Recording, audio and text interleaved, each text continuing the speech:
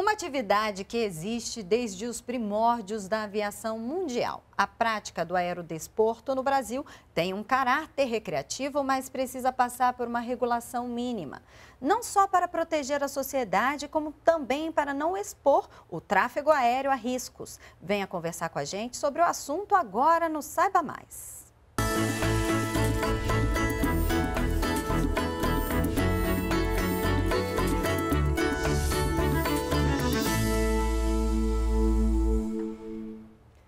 Hoje contamos com a participação do Diego Benedetti, especialista em regulação de aviação civil da ANAC, a Agência Nacional de Aviação Civil. Prazer te receber. Obrigado, Lilian. Prazer estar aqui no Saiba Mais. Vamos começar explicando o que é a palavra aerodesporto, porque não é um linguajar muito comum no nosso cotidiano. Não, não é, né? Uma atividade praticada por poucas pessoas ainda no Brasil, mas que tende a crescer muito. O aerodesporto é um termo genérico utilizado para designar qualquer prática desportiva, com finalidade desportiva, que use uma aeronave. Uhum. A finalidade desportiva seria aquela de esporte, né? Sim, ela vale, o termo vale tanto para o voo livre, o balonismo, voo à vela, quanto para a acrobacia aérea, paraquedismo. É bem diverso o universo dos aerodesportos.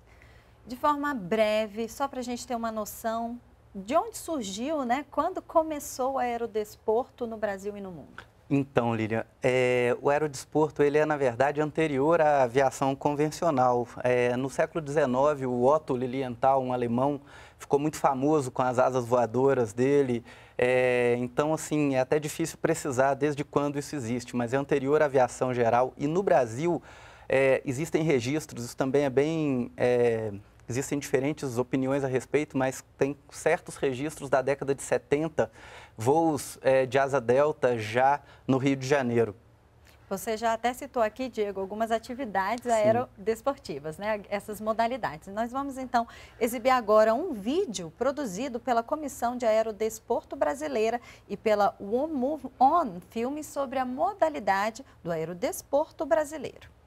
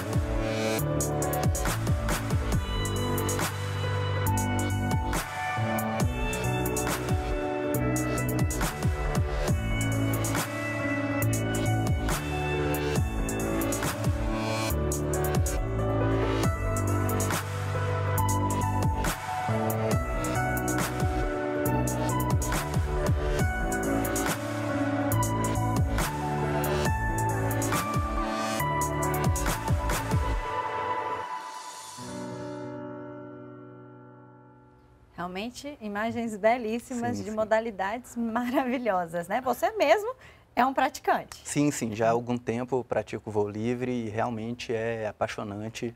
É algo que merece ser é, vivenciado. Então, vamos aqui pontuar. Nós trouxemos uma arte para explicar quais são essas modalidades, mostradas até no vídeo, algumas delas, né?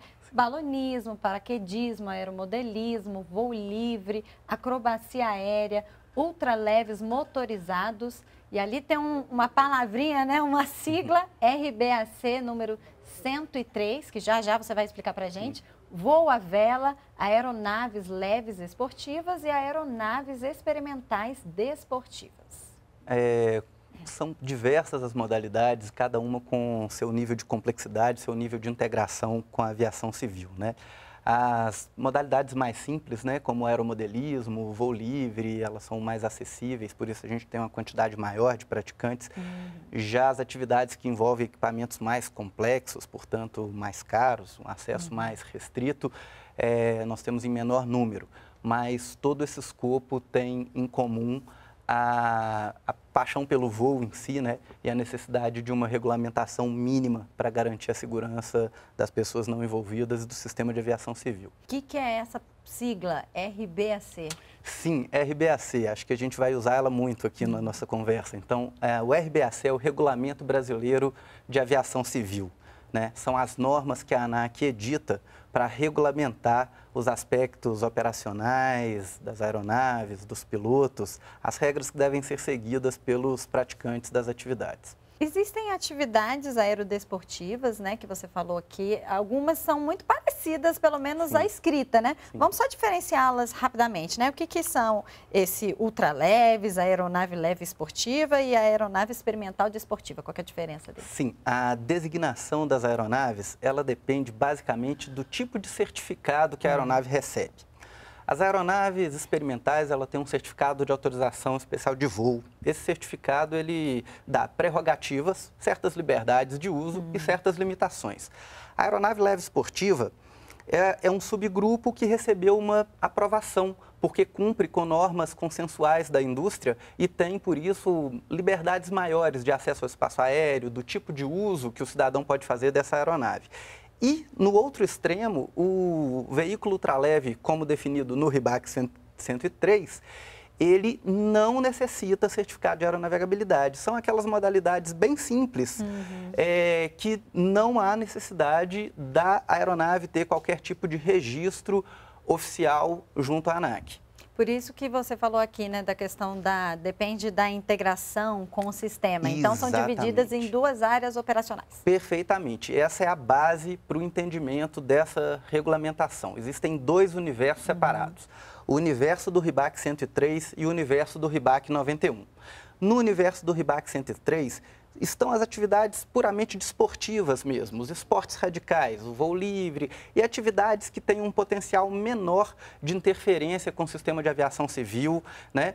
Já as atividades do RIBAC 91, elas se aproximam mais da aviação geral, elas usam infraestrutura aeronáutica, muitas vezes coordenação com todo o sistema é, de infraestrutura aeronáutica e isso requer, claro, mais regulamentação e mais atenção.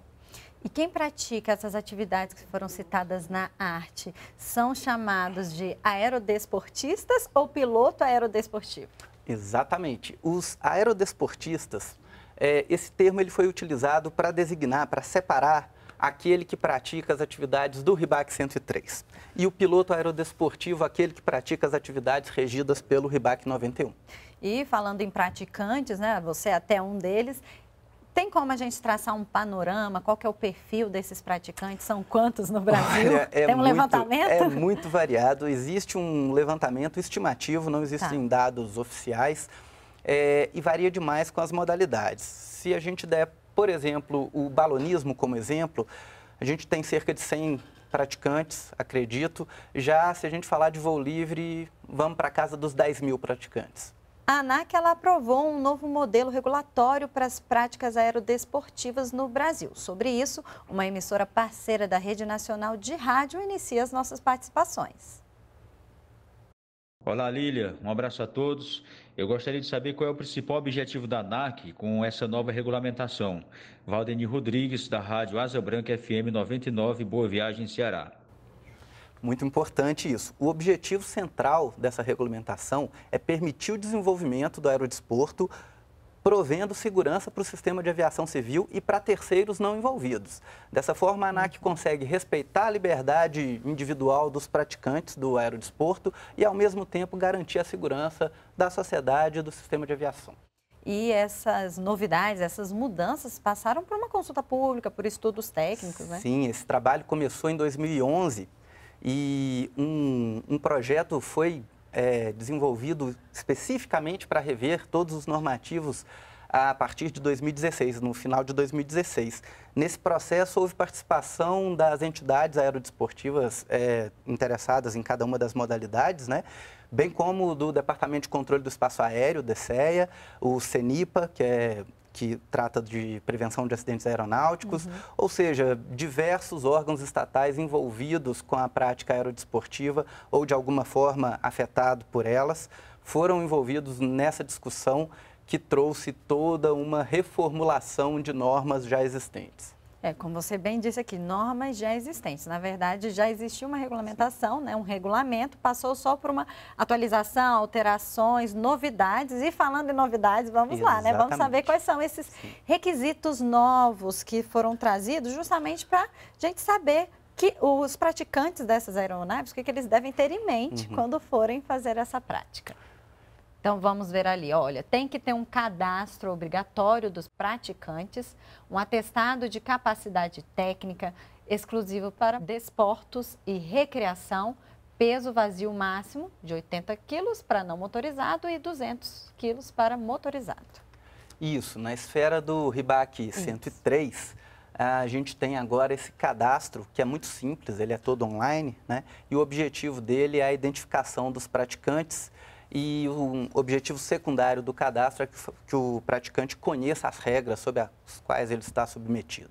E ele precisa sempre portar essa certidão, esse cadastro, já que é obrigatório, mas na hora da prática que ele está lá utilizando a sua aeronave, precisa estar com o documento? Ele tem que portar, mas ele pode levar digital, pode uhum. estar no, no celular, e mesmo assim, se ele não tiver digital, é, se ele tiver acesso à internet, ele pode acessar a página do cadastro da ANAC e fazer uma busca sem necessidade de login e mostrar que ele tem válido o uhum. cadastro na agência. E lembrando que não é uma capacitação esse, não, essa certidão, exato, né? É apenas não é uma um atestado. Isso. A, a ANAC ela só emite habilitação para os pilotos aerodesportivos, o pessoal uhum. que opera dentro do 91.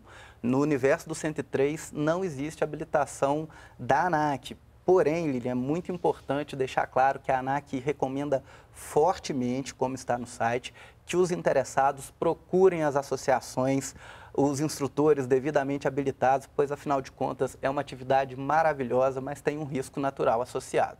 Como obter esse documento, então, onde e como obter? O cadastro é muito simples. O cidadão basta entrar na página da ANAC, lá tem uma página temática de aerodesportos, e dentro dessa página tem um link para o cadastro. Na própria página de cadastro, ele pode fazer o seu pré-cadastro e no campo Associação Credenciada, ele vai ter as opções de associações que ele pode buscar para finalizar o cadastro. O sistema é muito simples, ele faz, ele inclui todos os dados. Ele vai entrar em contato com a associação que vai simplesmente verificar os conhecimentos mínimos dele a respeito das regras operacionais e vai então validar esse cadastro. Diego, daqui a pouco a gente vai continuar falando um pouco mais sobre isso, principalmente que você citou aqui as associações, a importância delas. E você fique ligado que daqui a pouco a gente volta.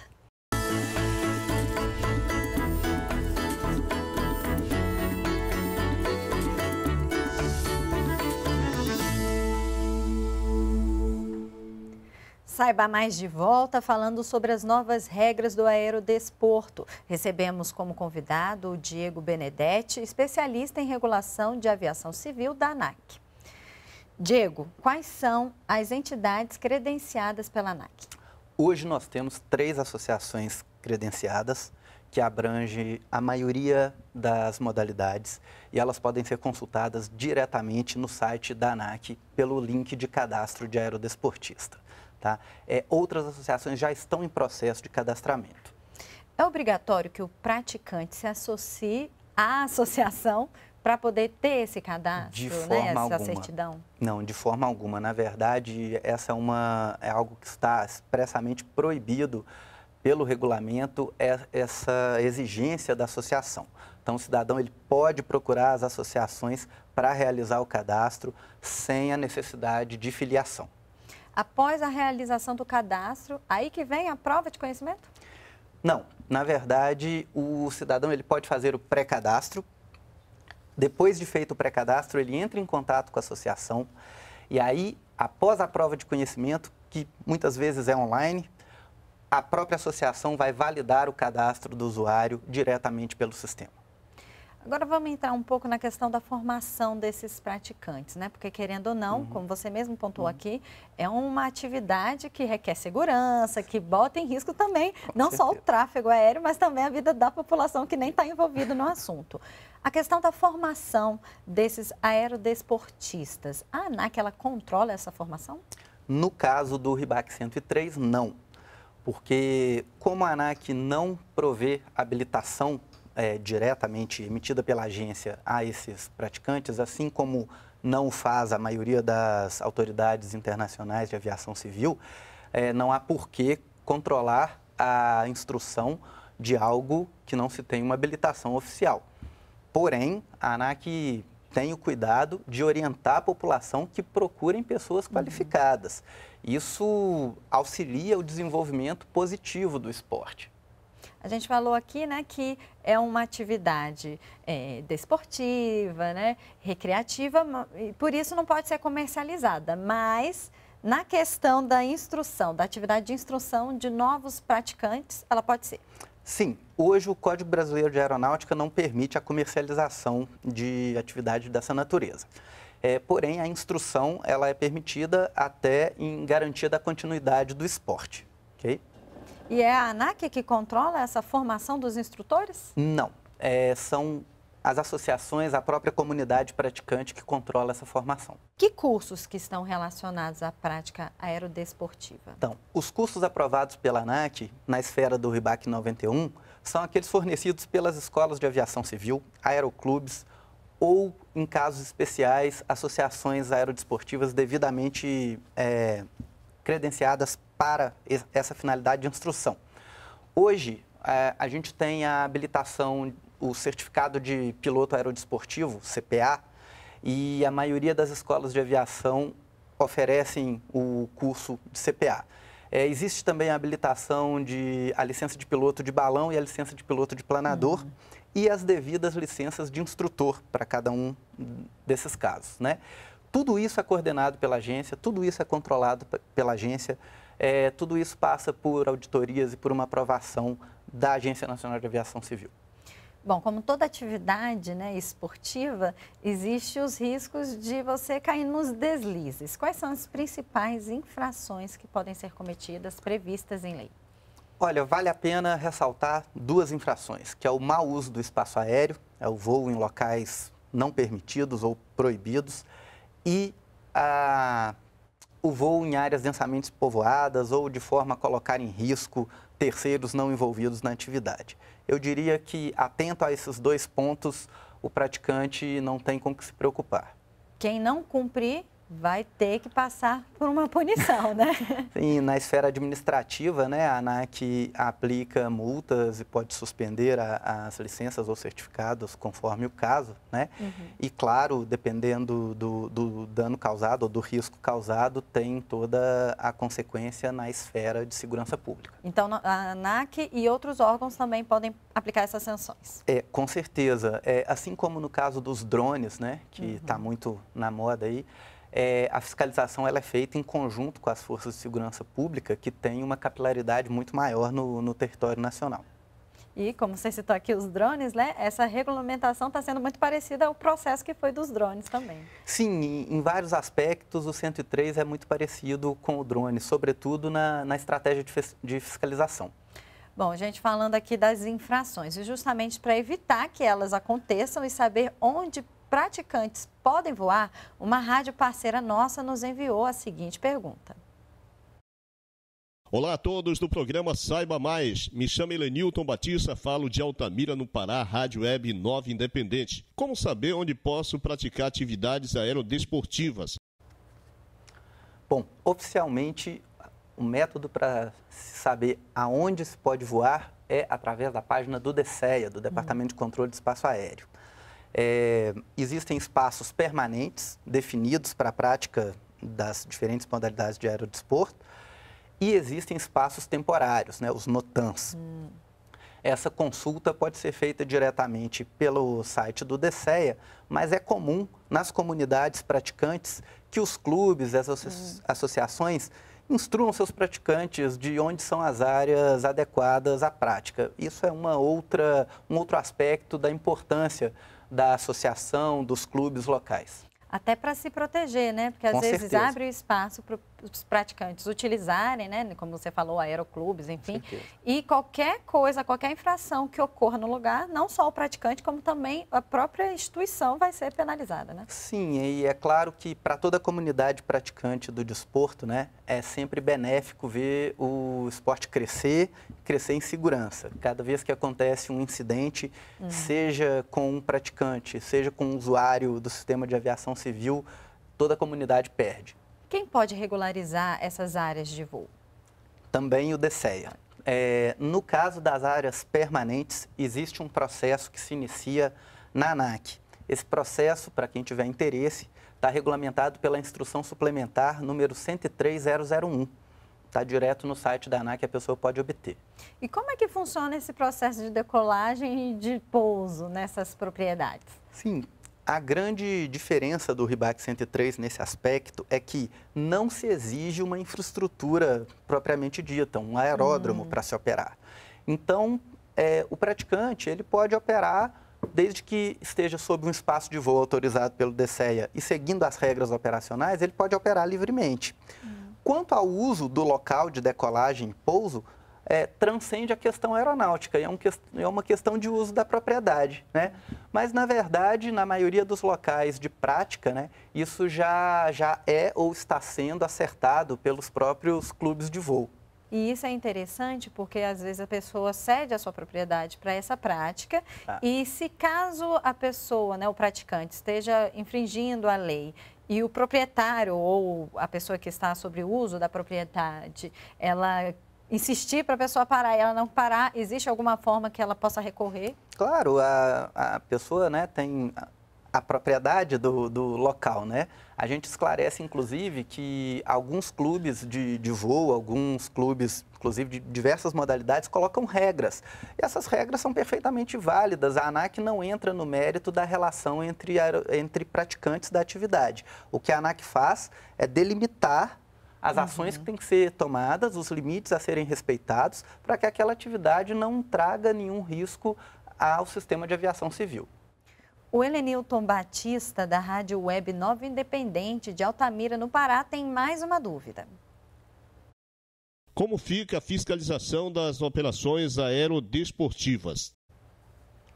A fiscalização desse tipo de atividade ela é sempre um desafio. É muito parecida com a questão dos drones, né? Uhum. É, essa atividade, como ela ocorre em qualquer lugar e algumas modalidades ocorrem preferencialmente em locais afastados dos grandes centros, afastados da infraestrutura aeronáutica, é só com o apoio das forças de segurança pública que ela funciona.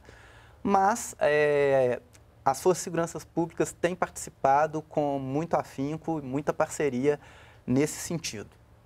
E a própria sociedade também pode colaborar nessa fiscalização, Com né? certeza. Percebeu que tem alguma coisa errada, a quem ela deve recorrer, a quem que ela deve ligar, falar? Eu acho que o primeiro passo é procurar o clube local, a associação local e verificar o que é que está acontecendo, porque a grande maioria dos praticantes querem praticar o desporto da forma correta e querem ver o esporte evoluir, que é um esporte que traz muitos benefícios, não só ao praticante, mas à comunidade em geral. Então, procure a, o clube, a associação e, caso necessário, é só entrar em contato com a ANAC através do Fale com a ANAC e a ANAC tomará as providências devidas. Então, para a gente encerrar, quais são esses benefícios?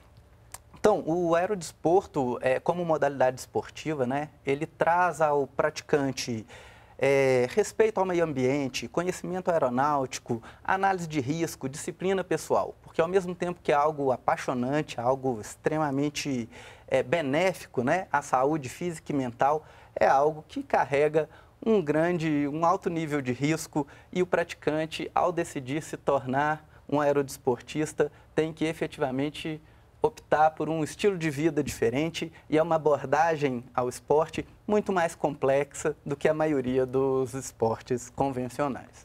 Diego, muito obrigada pelas explicações. Eu que agradeço a oportunidade. E vale lembrar que existe um guia prático né, no site sim, da ANAC. Sim, esse guia prático ele tem basicamente as informações mais importantes que o praticante precisa saber ou que o interessado que está pensando em começar no esporte precisa saber para praticar. E você fique atento às novas regras e compartilhe essas informações. Obrigado por sua audiência e até o próximo programa.